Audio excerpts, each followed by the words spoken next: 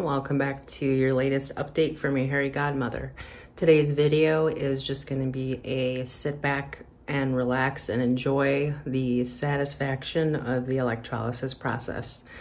I'm just gonna show you no talking, up close, very crystal clear footage of how the electrolysis process works. You can view all my prior videos to hear me go into the process of it, but for this one, just sit back, relax, and watch the satisfaction as the hairs come on out.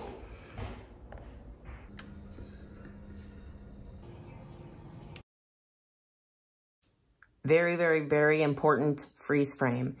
See how the hair is being pulled taut because it's resisting the tug.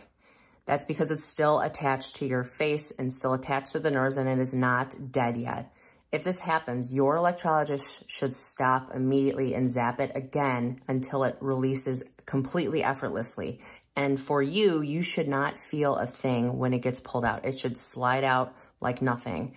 You will, of course, feel whatever level of pain you feel with the zap. That is normal.